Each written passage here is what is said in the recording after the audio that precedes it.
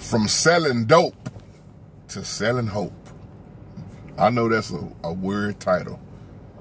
Preachers who used to be dope dealers went from selling dope to selling hope. Now, keep in mind what I'm saying in this video. I'm not talking about all pastors. Um, from growing up in the hood, it was always an old saying that don't nobody ride Cadillacs but pimps and preachers. Because Cadillac was a thing coming up. Now it's the Rolls Royces, you know, et cetera, et cetera. But uh, brother, uh, brother Rodney, not Rodney Jackson, but Rodney O'Connor, you asked me a great question.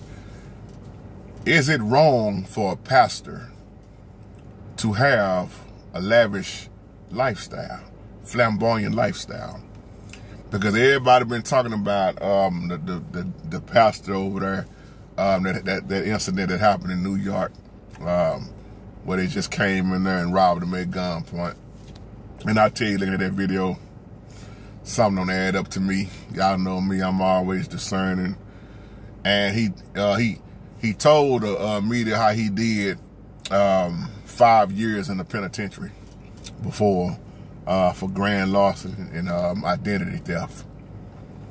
Now, if you watch the video I done about how the Most High showed us about gold, having gold, gold is beautiful.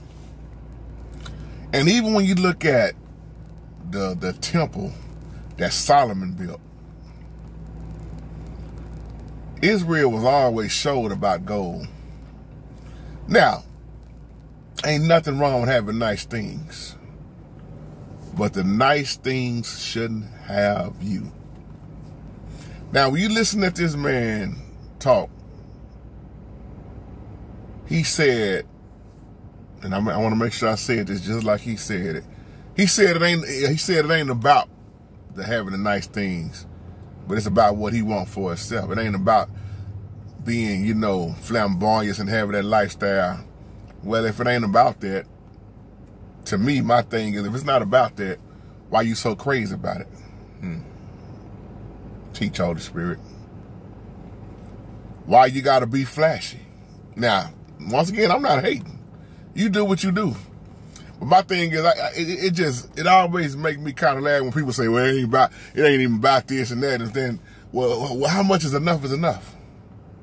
When is enough enough? Because it's amazing that you reading this same Bible that says, "What does it profit a man to gain the world and lose his soul?" Knowing that when you walk around flashy, your chances of getting jacked is more and more when you coming out in broad daylight, especially being flashy, showing everybody all your jewelry. This, this is why I had a problem with that at preachers of LA stuff when it came on TV.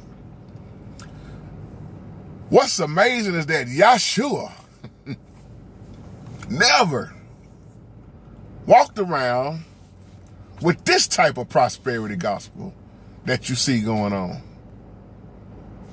what he wore, how he dressed, and his prosperity was totally different than what you see going on now. Because he was talking about your soul prospering. He was concerned about your heart. Now, I don't know if that thing was staged. Like I said, I don't know it all.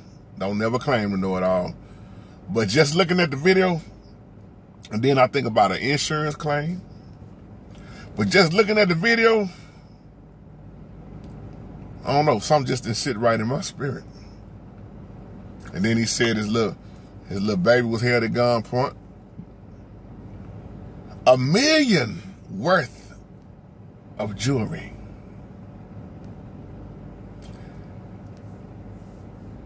What is going on? See, when I was coming up, I hate to say it like this, like Brother Daniel I always say. I hate to say this, Brother Daniel, but the majority of the pastors that I knew, that's why I'm using this title. Let me get back to this title. From selling dope to selling hope. And some of them used to be strung out. And now they are pastors. And I'm not I'm not saying that all of them that were strung out are like the ones that I know who continue to use the gospel to get rich. See, if you really think about it, a dope dealer, I'm talking about a smart dope dealer, they are not dumb. They very good with calculating. They know their math. They know their product. They know how to sell. So when a dope dealer with that mentality gets into a pastor's position, he still got that mentality. And I'm not saying all dope dealers who used to be dope dealers who are, are pastors now operate this way because some of them that I know, they are no longer that way. And when they left the streets, they left the streets in the streets. And they don't they don't be in the pulpit begging. And some of them work, they got they got two jobs and they don't ask the church for nothing. And they go out on the streets, they reach out to the streets, they they they off in the food pantries and everything. Shout out to them. But then everybody ain't like them. Mm. You got the ones that used to sell dope, and that mentality is to sell hope. See, even if you wasn't a pastor, being flashy and you riding around and, and you know you finna be out and open, you are taking a, a great chance once again on being robbed. I remember so many teenagers coming up back in the day. Um, being robbed, being jacked. I ain't, even talking about the church now. I'm just just stating the facts. Wearing the flashy jewelry. Being flashy, you stick out. That's why real dope dealers wouldn't be flashy. They didn't want you to know what they had. And then you got them that just, they're going to be flashy. So you, you look at these preachers that do this now, and it's the flamboyant lifestyle of these preachers that's that's doing this with all these blessing plans. Like I always say, they give you so many blessing plans, you give them the blessing while you stuck with the plan. Now, me personally, this is my opinion when I say this. Ain't no way to me, my opinion, that a pastor should walk around flashing and throwing in other people's face. Because you think because you wearing a title pastor, you won't get robbed? And I'm just tying all this in together to answer your, your, your email, brother. But yeah, when you look at gold and, and the, the, type of building, the, the temple that Solomon built, flawless, beautiful. Beautiful. But do you think the Most High is more concerned about a building and your flashy material things or your soul when you can't take none of this with you? Like I was saying, there's nothing wrong with having nice things. But the problem that come to play is when them nice things start having you. You can't serve two masters. Israel fell for idolatry, hard, idol worship. But the Bible says the love of money is the root of all evil. The love of it is the root of all evil. And you got pastors out here. I ain't even talking about you. You ain't even got to have a mega church. I know pastors out here, man. They they got these nice cars, nice cribs, and the church look like a trap house. They wouldn't dare do their own home in the way they doing what they so called the house of God. Oh, I'm so glad that the Most High shows us in His Word a building not made by man's hands. And people are going to continue to do what people do. The lavish, the luxury. This is why I keep telling people, and, and this is no disrespect to our no pastor, truth hurt. But this is why I keep telling people, watch their actions. Watch what they say, but better yet, watch what they do. See, I'm, I'm gonna tie this in this video. I got I got to get ready to go in a few. When you look at what Creflo Dollar have done and said, what Joyce and Myers have done and said, who else? Uh, Kenneth Copeland, Leroy Thompson, Benny Hinn. The list just goes on and on. I'm just naming a few. Let me stop right there just after that few. Creflo even came back and told them in that video, I am not going to apologize. Because that was an example. I'm not going to apologize for that. Is that true repentance? No. I told y'all that in the first video I did. Jocelyn Maya said she's not going to apologize. Benny Hinn, when he did apologize, my point is, look at how much money you done took up. And in those years and years of time, best believe a lot of people have died and you can't give them nothing back if you wanted to. Our Savior never used the gospel to preach for money. What can you gain? I told y'all a long time ago when Creflo Dollar was running on stage with Leroy Thompson with that money comment, he that's the spirit. And if you catch his videos, there's one video um Creflo was doing when he was talking about he used the same thing, money comment, he was screaming it out. In this particular other video, he was talking about how he needed a $65 million plane. Are y'all serious?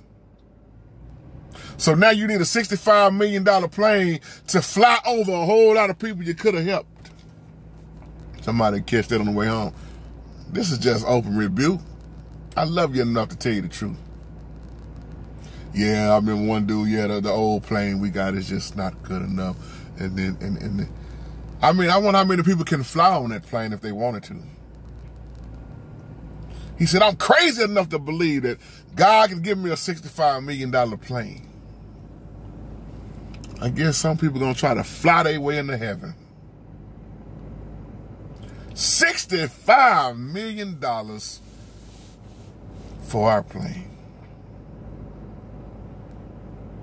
So some of these people that's from the hood off the streets are going to continue to use the Bible. And I'm not saying Creflo is from the streets and an old boy in New York is from the streets because I, I know he, I don't know where he's from. And um, I'm just saying, you got you got people that also go to seminary school. it goes back to the live chat I just did about how they use philosophy and traditions of men to brainwash people. That's why I did that old video. Don't need a gun to rob Christians, these type of Christians. You don't need a gun. All you need is a Bible. That's it. And you can get so many to believe and fall for your seducing doctrines of devils, them seducing spirits. Those are spirits. When you see all them them TV vandals and people, see, it, it, they being exposed now. But here's the thing. Are they truly repenting or are they just trying to say something to get the criticism up off of them? I don't want nobody talking about now. See, what would have done it for me with Creflo if he would have broke down crying hard and proof would have been shown that he been he, he done started giving millions to here, millions to these people, this person over here who's struggling, this person who need a house, all that money you done took up now, how much of it can you give back? Are you willing to give back? Or are you just gonna continue to to, to use your so-called fake ass apology? I said it, like Pastor Darby would say, I said it. Hmm. That's your apology.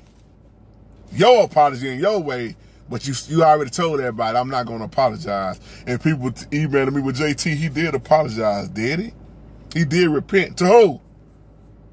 He must have did like Judas and repented to himself. Y'all don't want me to talk on this subject. And then, like I said, you got the ones from selling dope to setting hope. Even Jocelyn, she said, I'm not going to apologize. For what? You done took up sick people money. And back in the day, a lot of our older people was easy to brainwash. I hate to say it like that. Not all of them. But oh, I got to give my money. Because a lot of them couldn't even read. And I'm not talking bad about them. I'm just stating facts and not all of them. But how many of the people back in the day was giving their money?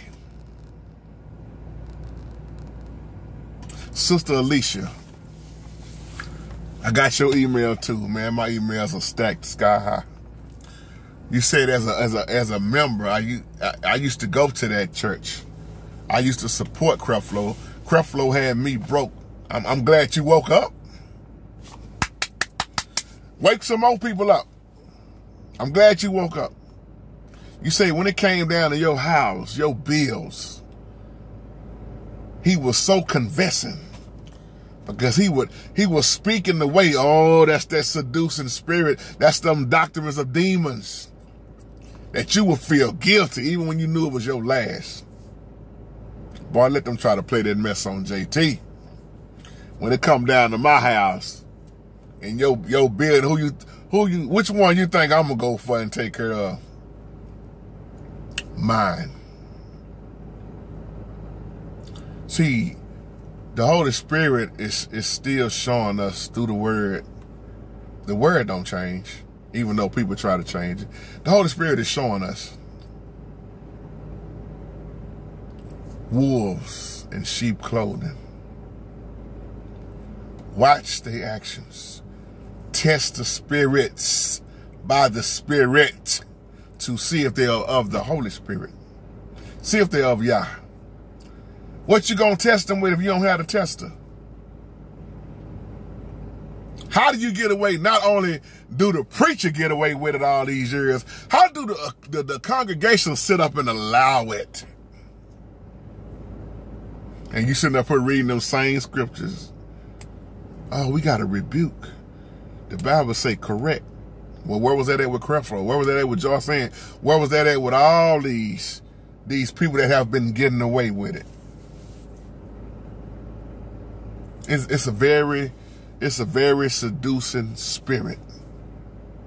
See, a lot of time when we hear seduce, we just want to tie it in with a woman seducing a man with sex. It's, one, it's more than one way to be seduced. It's more than one way to prostitute yourself. I ain't talking about a hole on no corner. These prophets, P-R-O-F-I-T-S, have been using the title prophet, P-R-O-P-H-E-T, to be more of a P-R-O-F-I-T, which leaving people B-R-O-K-E, broke. Break it down, Holy Spirit. But you sit up there talking about just sow a seed. And, and I'm telling you, brother, this is your year. You sitting there pretending people it's their time, it's harvest time, and you don't even know what the hell season them people is in in their year. I mean, in their in their in their life. Get ready to pluck up what you plant, brother. It's your time, brother. You ain't planted up nothing, so you ain't finna pluck. You ain't finna pluck up nothing. Y'all shut the hell up with all that line. Sit down or get set down by the Holy Spirit. Don't you know all that stuff from years and years? You have grieved the Holy Spirit. Your apology is fake as a $2 bill. You ain't repented. You repented to yourself. So I said all this to add in with this video. When you talking about living a, a, a flamboyant lifestyle, what's the point of it? When is enough enough? Now you better be lucky ain't nobody shot you down with all your gold on. See, that was a time, that was a time back in them days, man, you would get shot down for your for your jewelry. That's why I say even if I wasn't talking about church, you know how many youngsters have lost their life because they got jacked behind their rims? Y'all remember when the triple gold Dayton's came out? Y'all remember that? Them them the triple gold Dayton's, the the gold, the flashy, the the herringbone, the links, the three finger rings, the nuggets, the the the the, the gold nugget bracelets. Man, one upon a time, man, folks was real flashy back in the days, and they was getting killed behind it. It ain't worth it. And like I tell people all the time, yeah, you work hard. I'm not knocking what people do and what they buy. You do what you do, but you got to realize it's somebody out here that's ready to take your life behind what you got. Man, I remember when when when when when uh, black people back back I don't know what year that was. What year was that when they came out with them Raiders caps? The caps was black and gold. And a lot of gang members was wearing them. And people was getting robbed for the caps and the jacket. Gunpoint, shot up, killed behind a cap and a jacket. Or behind shoes. Behind a vehicle. It's sad what we living in. So especially when you got a family, you got to ask yourself, am I putting my family in jeopardy? The flamboyant lifestyle of these pastors is showing you who they are and what they truly represent. Because look at the message. Now, as I close, compare your pastors. Now, I'm talking about all pastors now. I'm talking about the good and the bad. I want whatever church you go to, I want you, I want you to to compare your pastor to the way Yahshua is, was. Does his teachings line up with Yahshua's teachings? Is he preaching an unbalanced message? Is he in the pulpit begging and begging and begging and begging? I remember being here and said I would no longer beg no more. I, I would no longer another day teach the prosperity gospel. Hell, you done taught it so long. How many lifetime? How many? How many lives? If you was here to be left around a long time, how how many times could you live off all that money? You done you done took up millions, billions. You talking about people that's been taking up money 30, 40 years or more. That's a long time. So yeah, this is my little two cents. And with that being said, y'all have a wonderful, wonderful, blessed day. From selling dope to selling hope. And even if they wasn't from the streets, from seminary to almost on your way to the penitentiary. Or my uncle would say the penitentiary. That man, that man, like I said, that man was locked up. There are a lot of preachers that get out of jail, start a ministry. Get out of prison, start a ministry and do good with it. But then there's some that get out of penitentiary, they still got that street life mentality, that dope game mentality. So they take the dope game mentality to the church. Because they know how to sell. They know the product. And you know what the product is now? The word. Sad what we living in, y'all. Have a blessed day. Shalom.